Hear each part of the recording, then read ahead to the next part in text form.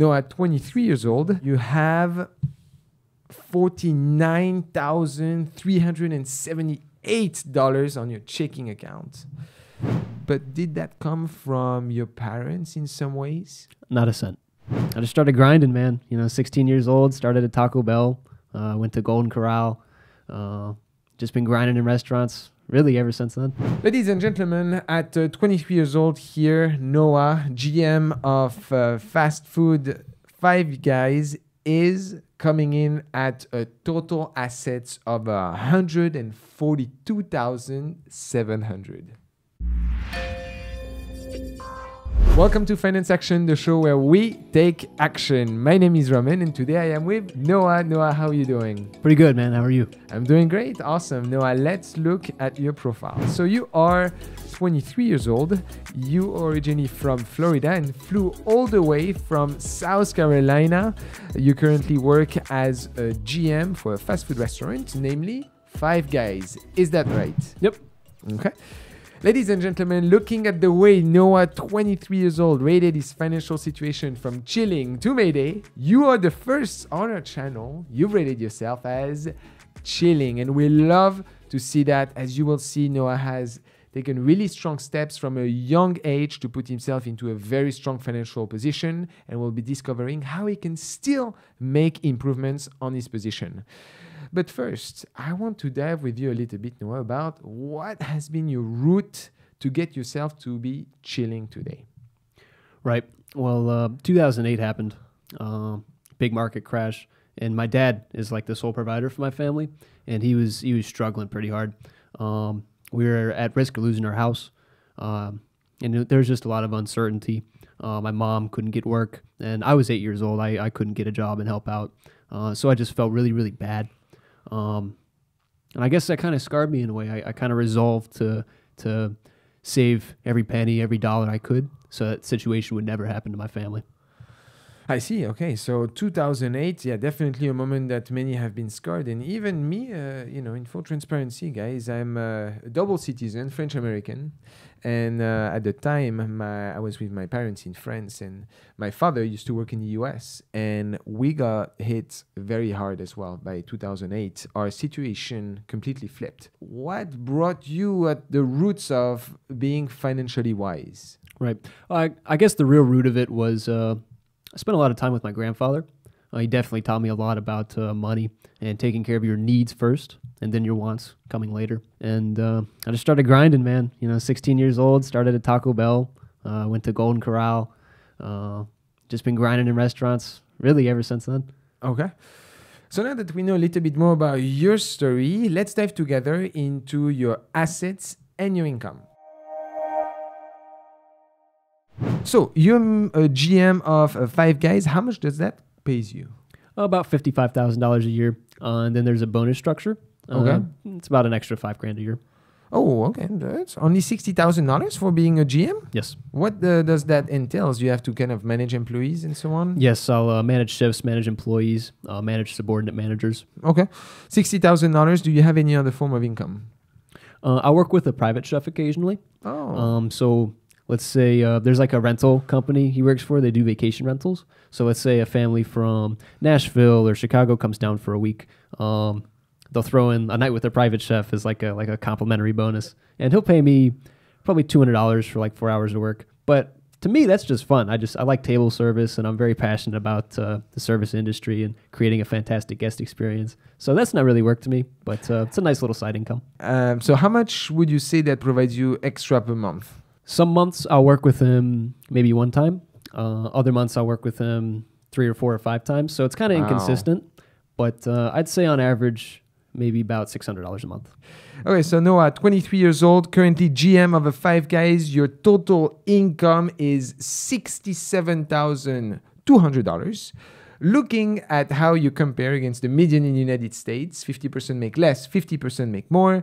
Between 20 and 24 years old, the median is at 36,500. So congratulations, you are far above that, almost twice. Well done. I want to quickly piggyback on the, the passion that you mentioned. So private chef, is that the venture that you want to get yourself into?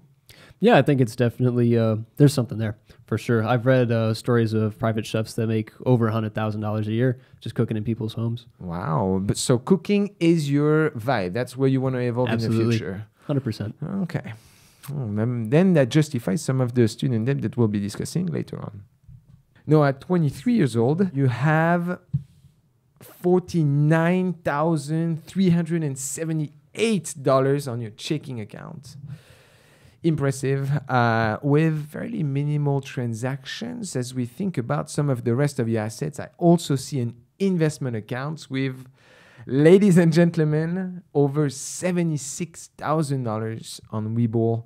Uh, most of those positions being pretty much cash. Yep, entirely liquid. Why are you full liquid on this right now? I like to take advantage of opportunities as they occur. Uh, so I, I figure I'd like to stay cash just in case, say, oil crashes tomorrow. You know, I can and then I can invest a whole bunch. So $76,000, I mean, that's not something that we see every day. Mm-hmm. Um, did you actually ended up making money of your positions on those investments? Yes, um, especially when COVID happened. That was a very very wild year for investing. Uh, I think March of 2020, I turned seven grand into about thirty thousand, and then the following year uh, I made another twenty thousand, and then uh, 2022 I think I made about eighteen thousand. Did you use individual positions? Uh, I would day trade uh, a leveraged oil ETF. You day trade? Yeah. Oh my. Yeah. But you were being very cautious about some of your Yep. positions? Yep. I uh, dedicated a lot of time to research, and I would just swing trade. I would watch it, and and I knew when to stop. That's the biggest thing, knowing when to stop and take your profit. Have you had days where you plummet and then Yes. back up? yes, I've lost twelve thousand dollars in one day before. No way. Yeah, yeah. And I think my best day I made sixteen, but that that day where I lost that twelve, oof, oh, that was a bad one. Yeah. Yeah. So lost 12,000. What are the um, emotions when you're losing that much money in one day? How did you manage that? Well, starting out, you make every mistake in the book, and but you learn from that, and you can't be emotional trading. You have to uh, really look at the numbers and be unemotional with your trading. Uh, it did suck to lose the 12. It, it did really suck, but uh, a couple weeks later, that specific position went right back up. So had I not sold, I wouldn't have lost any money. Yeah. Oh, so you kept it? Even on day trading, you still kept the position up? Uh, occasionally, yeah, but see. um, I day trade on margin, so yeah, I can't really. Yeah, yeah. Margin calls are a thing. Mm, Wow. Okay. Yeah. Very, that very is risky. risky Very, very my risky. friend. When Yeah. did you stop? Um, well, I started the the Five Guys thing, and I just figured I have to dedicate 110 percent to that to become successful, because it is very, very intensive. And from that point, you were like, okay, I'm actually going to stop my positions. now yeah, that I'm in yeah. I profit. couldn't dedicate the time required to day trading to to do all the research and, and be responsible with it. So I figured just full stop right now for it. Okay, that is uh, that is interesting, and uh, I mean, as we think about just kind of living cash here on the sideline, seventy six thousand dollars.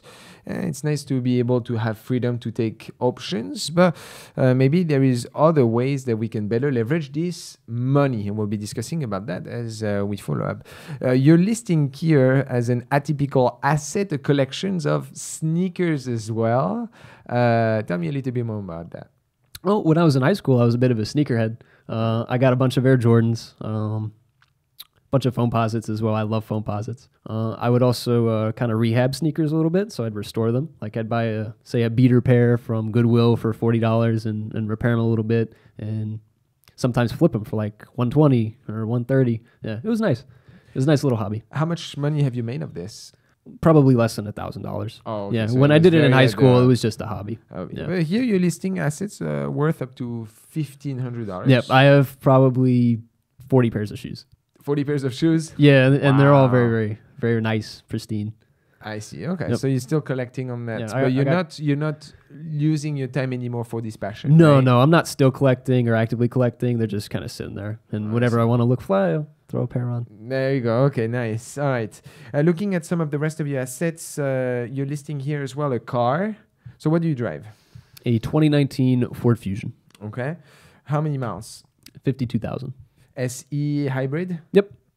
Wow. Okay, so that gives you a very strong miles per gallon. That's a smart move. Yep, I get almost 50 miles to the gallon. It's it's very very nice. Ooh, Yeah. Okay, 50 miles. So I'm not seeing any debt here on this, meaning that you own it full rights. Yep, I own the car.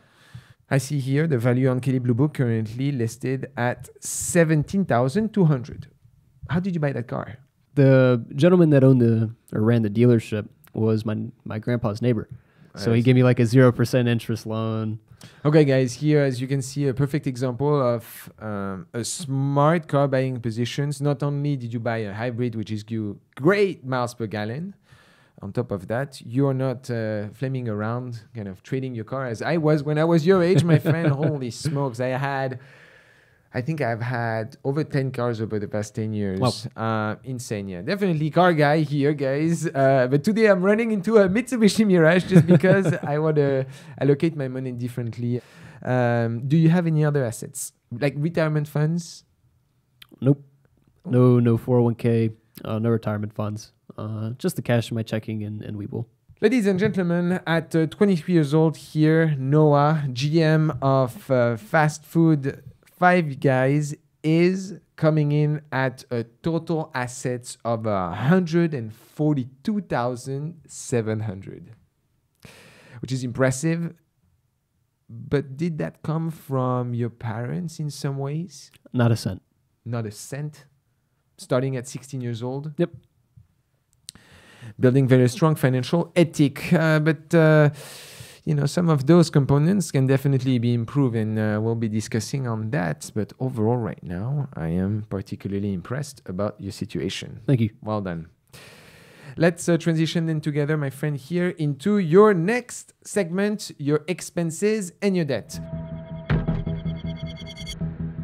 Starting first with rent. How much do you pay for rent? Zero. Oh, zero. Okay. Yes, What's I- going on? I still live with my parents. still living with parents? Yep. Okay. Um, are they in a good financial position? Yes. Yeah, they're doing pretty well. Uh, is he familiar with your finance situation? Yes. Yeah. Okay. So it's something that you guys speak pretty. Oh yeah, me and my dad are, are very very open. We we talk about like stock picks and stuff. Oh, I see. What, what do you do for a living? Uh, my dad is a stock trader. Oh, okay. That's the root of uh, Yeah. what you've been, uh, why you've been in that environment. Okay, that makes sense. Uh, definitely taught you some good uh, options. Have you actually at the time like traded any crypto or NFT or any of that? I've I don't believe in NFTs. Uh, I've done a couple trades with like Bitcoin or Dogecoin when it was hot. Uh, Shiba Inu too, but Oh uh, my god! yeah, okay. yeah, yeah. yeah, the But, big ones. I feel like that stuff's all fake, man. So it's all baloney. Uh, I mean, it really depends. Personally, like I think there is a future for those type of currencies. To be honest, um, maybe not in the form that we are expecting it today. You Mhm. know, like like even branching a little bit out here, looking at like the NFTs. This is gonna be a, a pinch controversial, but the way they currently exist to me provide fairly limited value, right? Yep. The most part, you're buying into a community. It's uh, up and down. I've been into the NFT game a little bit here and there. You know, I've actually made money of NFTs. Oh, well, Uh, not as much because at some point I took big risks and they didn't Mhm. pay off. Um, but where do I personally see, for example, the future of NFTs is, um, let's say, in real estate plays. And what I mean by that is in the United States or even in like France, you know, when you buy a house, there is a title that is being provided to you that is kind of nationally recorded. right. However, in certain countries, namely developing countries, sometimes proof of ownership is difficult to show. hmm And so having some type of a digital asset that is being recognized by the state can allow us to justify in front of the government ownership of such properties. So I know of uh, some projects that are actually involved with something like this, Oh, wow. um, where uh, this could have some potential, you know, kind of leveraging existing technologies. However, the current JPEG or the pictures that uh, you know are made uh, just to join Discord groups and flame to get into white uh, Yeah. into whitelist that doesn't Yeah. work. It's BS, and so I don't please encourage you guys to get into that game. I've suffered a bit, but overall I haven't you know lost money. So I'm glad that you're not putting too much money into this. Uh, right now, actually zero. Okay. So you're paying zero on your rent. Uh, are you contributing to like utilities or anything? Um, no, uh, but I will like do chores here and there. Uh, I'll cook for my family a lot. Um, but that's about it. Yeah, so maybe just grocery expenses is the biggest expense out of that. with your financial situation, why wouldn't you try and help, like even paying a little bit of rent here or le- left or right, just to showcase your uh, willingness to help over the overall family. Right. I've tried. Uh, I've actually tried several times. Uh, my grandpa kind of prodded me to, to try and help with rent, but uh, my dad said, "Don't worry about it." You know, Okay. and he keeps kind of dismissing, like, "Don't worry about it." I think it's a pride thing. Yeah, oh, Yeah. that's a very good Yeah. point. Okay, that is fair. All right. Uh, well, I mean, to no surprise, guys, that brings your housing expense to 0% of your income. Now, you know what is the number because you've been following the show. Actually, Noah here is one of our greatest fan following on all of the videos so far. What is the golden number that you should target for housing? Twenty eight or lower, right? So 28%, yes, Noah, you got it right. So as you think about potentially moving out, your total housing expense should be less than 1,100 per month. Okay. But uh, that is something that you should keep in mind as we think about your future housing expenses. Okay. Right. All right. So moving on to your transportation expenses, Noah. Here, I mean, you have a zero dollar car payment. You're probably paying on insurance. What? How much are you paying on insurance? One hundred and ten. Okay. How much on gas per month? Maybe eighty dollars. Okay, yeah, that's right. 50 miles per gallon. Let's go. Okay, so you have to be below 15%. Green light, awesome. As we know, Noah is doing pretty strong on that. Okay. Looking at some of the rest of your expenses here, you are probably one of the most frugal person that uh, I have seen as uh, your statement are currently highlighting three expenses. Gas, insurance, and groceries. Is there anything else that you're spending your money on? I smoke some pot. Ah, Yeah, all yeah. right. That's- okay. that's probably my biggest vice. Okay. Yeah. How much do you spend a month on that? All those ATM withdrawals. Oh. So how much would you say it's the sum of this? One eighty a month. Ooh, you're definitely smoking, my friend, huh? Okay, looking at some of the rest of your expenses here outside of, uh, you know, the ones that we have seen here, you're not showing anything on your statement as you only have three lines. Uh, you don't even pay for phone, do you? No. Okay, do you have pets? Uh, yes, but uh, no expenses associated with them. Okay. Not even entertainment? You never go to the restaurant? No. No? Well, I've I've been to a few here on my trip here. Yeah. I see. Yeah. Yeah. Flying from South Carolina, that's insane. But uh, do you have any other expenses here that are not being recorded outside of what I'm seeing on your statements? Uh, no, pretty much all my expenses are there. No financial obligations? Nope. No kids. No I mean, guys, uh, literally has three lines. The most frugal person we've seen on this show so far. It's insane. I'm not even seeing any DoorDash or coffee. Oh, wow, guys, is this a renewal? I can't believe it. well, I cook at home. Yeah, that's nice. I mean, it's your passion. Mhm. But uh, just overly impressed uh, about uh, the rate of your expenses here. I mean, uh, you're making 3,900 net per month. So how much are you saving every month right now? Probably 3,400, 3,500 of that goes in Wow, savings. and that's exactly what I'm seeing here. Is uh, I uh, reviewed some of your expenses. Uh, so you're saving what? Uh, 85% of your income.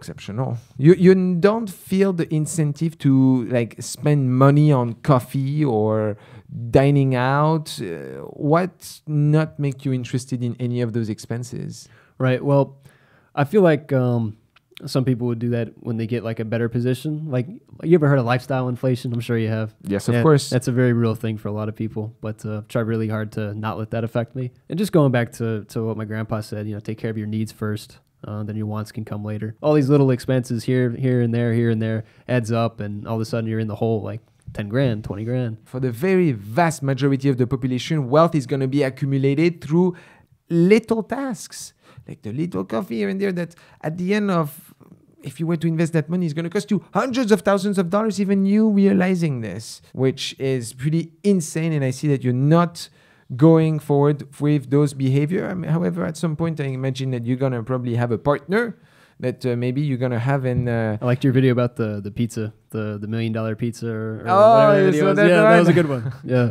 that was pretty good.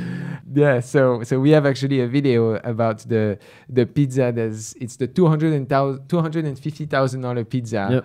uh, that speaks about that behavior of just you eating pizza once a month instead of once a week will sum at the end to two hundred and fifty thousand dollars on your account saved if this money is invested. Man, looking outside of your expenses here, you're recording some student loans, but balances that are pretty nice. Three thousand five hundred at four point five percent.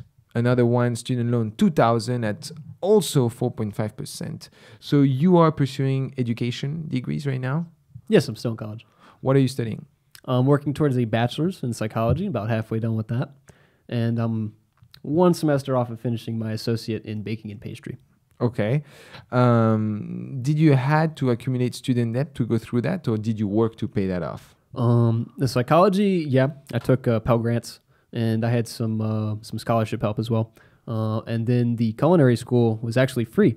Um, I worked at a fine dining restaurant for a while, and the chef really inspired me to go there. And the owner of the restaurant actually paid for my education there at the culinary school because she was very, very well off and, and, just really, really believed in me. And I'm very grateful for that. I'm seeing That's awesome. So you're carrying about $5,500 worth of debt. Okay. At 23 years old, Noah, you're coming here with a very strong financial position as we think about your net worth. Today, your net worth, looking at all of the assets that we've mentioned, your checking accounts, your investment accounts, your car equity, against some of the student loans that you have, you're showcasing at 23 years old 137,200. My friend, congratulations with money that you've pretty much built on your own at such a young age, having yes, very good uh, behaviors around your finances. Okay, now that we know exactly your financial situation, let's look together into the money case.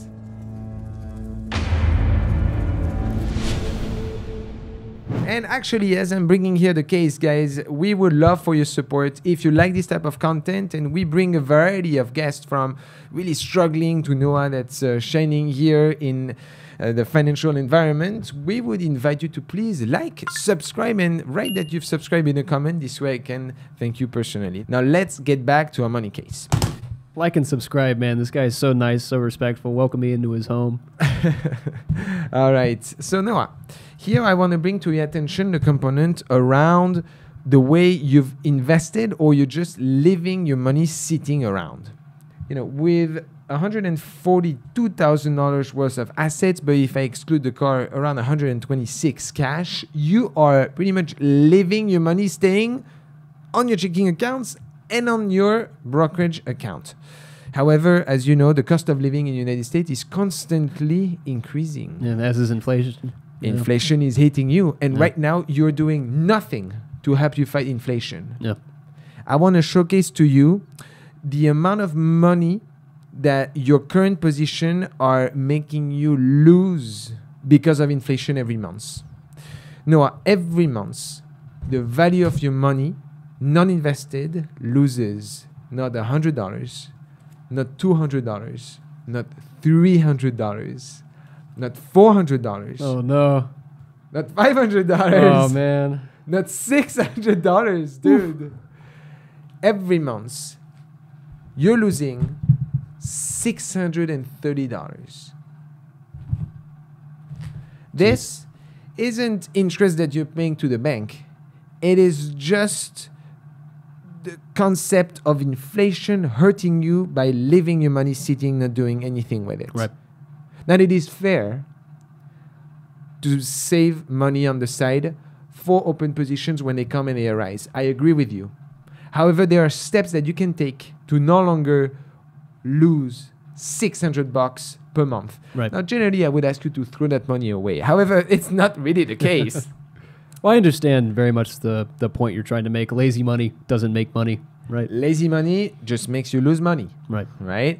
All right, so six hundred dollars. It's pretty insane. I mean, as I sum here, this is about seven thousand five hundred this year, wow. which is pretty hectic, right? That's when your salary is three thousand nine hundred, what does that brings you? That brings you to about sixteen point five percent of your income that's uh, being thrown to inflation. Wow. Pretty hectic, right? Very significant, yeah. So let's see how then from that point we can look into managing your assets in an engineering way. So looking briefly after this money case segment at splitting your situation in three components, as you know, your needs, your wants, and the goal category. Your needs right now, calculating based on what I'm seeing, you're at 477, which is 12% of your income. We like it to be below 50. Jackpot to you. Your wants, I am allowing you $200 just because it's the $180 worth of pot. And then on the side here, you just have nothing. It's insane to be that frugal. So about 5%, which leaves your gold category or your savings, in this case, for potential investment at 85% of your income. Well done. As I think about the recommendation for your situation, I want to understand a little bit your goals. So can you walk me briefly through what are you trying to accomplish? Uh, well, homeownership. That's a big one. Okay, that's awesome. Well, I'd like to build a really just a, a, a net. Yeah. Yeah, just one of those for my family so that we never have to go through any struggles or, or any tribulations. Um, and I like my kids to have college funds. Uh, Okay. I just like to live a nice, secure, comfortable life. Okay. So you have a credit score of uh, 760 here, and uh, thank you again for providing us with some of your credit card statement. I see very little balance, about six, five dollars, four dollars, which is nice. You're showcasing the ability to take on multiple types of debts. I like that. Uh, but you have for objective, I believe, to increase your credit score as well, right? Yes. And uh, what I want to ask you here, you have five thousand five hundred dollars worth of student loans. Uh, Are you thinking about paying them down pretty fast? Ideally, I like to pay them off just all lump sum. I see. Uh, so just uh, here as a side note, I would personally not pay them. Why? What I mean by that is I would continue minimum payments on those. Mhm. What that does, as you think about your credit score, is your ability to continuing maintaining monthly payments. Right. You want to record payments on debt. Your credit cards are giving you monthly payments. It's nice to see, yes, but uh, showcasing the ability that you are managing active debt, even if it's a low amount, is beneficial. So, given the interest of 4.5%, I would personally not really touch them. They're Yeah. not costing you a dime of interest and they are showcasing positive payments on your credit score. So, maintain them and just run them to their term. It's going to give you uh, account length and, as I mentioned, monthly payment as well. Right. Okay, so Now that I think about it, I think those are some of my oldest credit accounts as well. So, so if I just paid them off, that'd probably knock down my score. it w- exactly. Yeah. Yeah, that's uh, very generous because uh, account age is one of the components around Yeah, it. that's Okay. that's one of my biggest issues when I check my credit score. I think my oldest account is only like three years. Oh, Yeah, yeah, that's yeah. right. Yeah. Um, and I see also very nicely here the type of credit cards that you've taken are with big institutions. Uh, very nice to see um, because I would never recommend anyone to take departmental credit cards. It's just going to be a waste of time, a waste of an account, and overall, do not allow you the opportunity to upgrade Right. when you first start, uh, I believe your credit card was a Discover card, right? Yep. And you probably used kind of like a, a prepaid one. I'm sorry, a secured one. Mhm. Okay. Um, you have the opportunity to upgrade your card little by little to the point where you're maintaining the account age and you're benefiting from very good rewards. Okay. Yeah. I've increased the credit limit on that one. Uh, I think about four times now. Wow. It started. It was uh, I think a five hundred dollar limit, Yeah. and now it's uh, thirty five hundred. what do you do to increase it? Uh, I just applied for the increase. That's Uh, awesome. I yes. Think, yeah, I think the biggest thing to look at for that is uh, like debt to income ratio. So Yeah. my income just kept increasing. So That's Yeah. awesome. Yes, I love to see that. That's great. Um, as a friendly reminder, as you want to play the credit score game, it is good to inquire with the bank personally. I call them every six months. Mhm. And I say, hey, you know, my income has increased by X or Y. I would like to increase my credit limit without having a hard pull on my credit card. Right. How can I do that? You know, that's how uh, you play the game here because uh, increasing your credit limit will decrease your debt ratio. Yep. Um, um, so that is good to see. Okay. Another component here that you mentioned is you want to continue building a nesty egg. So, my recommendation number one was to maintain that debt component and potentially try and see if you can diversify taking on um, i mean refinance your car mm, maybe not right now with the current debts but maybe you could potentially think about refinancing a portion of your car uh, um, just so that you can showcase payments. This Right. is going to allow you to continue building. You want to have debt that is not costing you too much to showcase that behavior. Number two i would like to for you to start thinking about retirement funds as you know, golden age in your 20s, and right now you have zero into retirement funds. What you can do is so easy. You can start putting up to 6,500 into a Roth IRA because your income is you know is, is strong but it's not taxing you too much Mm. you can benefit from very good tax advantage by putting and maxing out your Roth IRA every year Right. Number three, I want you, as we discussed, to start fighting inflation and putting some of those funds right now, as I mentioned, $125,000 cash. Put about, eh, put about $30,000. That's going to be a, your emergency fund into a high yield saving account. It's going to give you five, around five, 5.5% per year. It's free money, literally free money, and it allows you to fight inflation. Point number four, as you mentioned previously, potentially owning a house. Okay, so that's kind of where the situation is a little bit blurry. You mm-hmm. have to be very mindful here because sometimes owning a house financially does not give you the best reward. And let me tell you a strategy that personally I employ, which is called the 5% rule.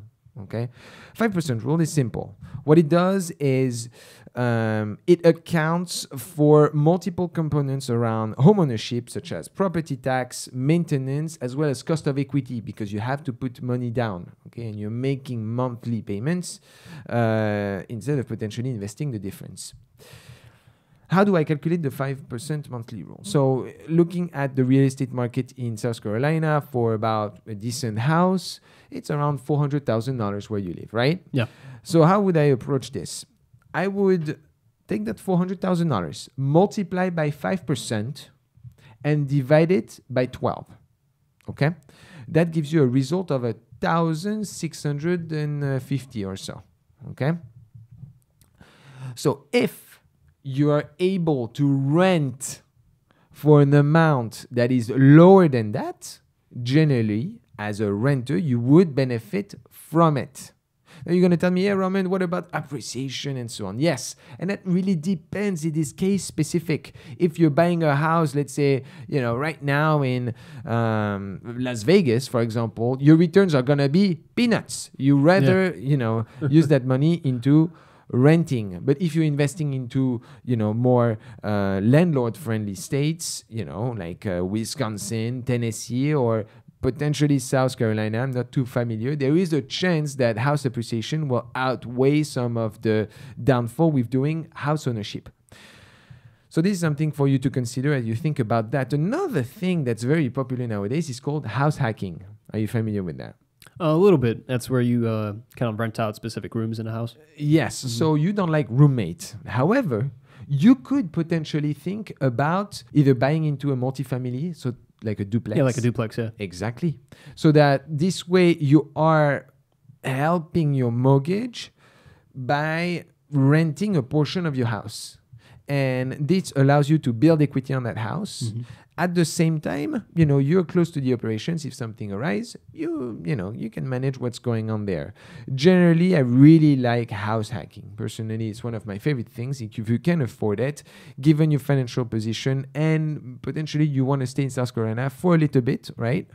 This is good is something that I would heavily consider. House hacking, you put a 20% down payment, or you can sometimes benefit from first house buyer, where you put about 3%. However, the rates today are very high, my friend.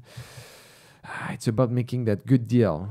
You know, if I were you, no financial advice, I would potentially look into maybe a, a multifamily that you can uh, yeah, multifamily home. That you get a very good deal that you can invest because you are on the spot there you can invest into maybe renovating it Mm, rehabbing it. rehabbing elevating the value of it and it's kind of uh, this guy's flip that you're doing on yourself It's actually kind of funny you talk about house hacking. I was, I was talking uh, about house hacking with my Uber driver here. oh really Yeah, yeah. He's, um, I think his uncle or something owned a, a large house and, and rented it out to several people. Yeah, he was that's, telling me it was uh, pretty lucrative. oh yeah it's super Yeah. lucrative uh, point number five diversification Mhm. So what I mean by that is you have money investing into brokerage account. Right now, you're waiting for good plays. Your father is a stock trader. You've had experience daily trading. It is very risky. I've seen people ruining Yeah, 100%. themselves on this. Yeah. So I don't know if uh, looking at the way you want a trajectory uh, your life working more into the entertainment and uh, kind of restaurant business, how much time are you going to put to that? Personally, I would use a fairly straightforward strategy, which is investing safely into index funds like the S&P Index mutual 500. funds. Yep. Exactly. They give you about 10% a year. You don't have to watch it. You open it. You're still benefiting from the overall market. And did you know actually that there are statistics that have said that timing the market generally tend to be of a lower outcome than just investing in progressively. Yeah, time in the market beats timing the market. Yeah, Yeah. exactly. so I would uh, potentially invest some of your funds into safe positions. And also think about alternative investments, let's say like real estate plays outside of the house hacking that we've mentioned.